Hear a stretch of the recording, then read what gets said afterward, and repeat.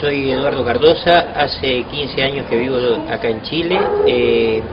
y como tantos uruguayos eh, no dejo mi nacionalidad ni mi sentimiento uruguayo porque haya atravesado la frontera. Me siento parte de ese 15% de, de uruguayos que estamos en el exterior y en este mundo globalizado en donde hay 200 millones de personas que no viven en sus países, me parece que eh, tenemos tantos derechos eh, como ciudadanos independientemente de donde estemos. Optamos por seguir siendo uruguayos, optamos por en una dualidad tanto cultural como existencial mantener nuestra uruguayez y es por eso que eh, consideramos que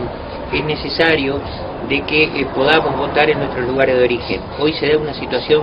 paradojal que pueden votar los uruguayos del exterior que puedan viajar al país. Hay muchos compatriotas que no tienen esa posibilidad, pero que sí tienen que tener ese derecho, que lo tienen muchísimos países del mundo y que nosotros, que somos tradicionalmente un país que tuvo una legislación eh, muy moderna y muy avanzada, en este minuto estamos un poco atrasados en América Latina junto con Chile. Por eso es que eh, queremos que en estas próximas elecciones eh, se obtenga el voto en el exterior para todos los uruguayos.